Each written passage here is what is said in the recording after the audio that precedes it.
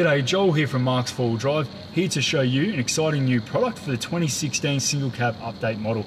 Now this bracketry kit allows you to install the Waeco CDF11 fridge freezer uh, straight into the vehicle. The bracketry kit itself requires no modifications and mounts straight up to the factory mounting points on your vehicle.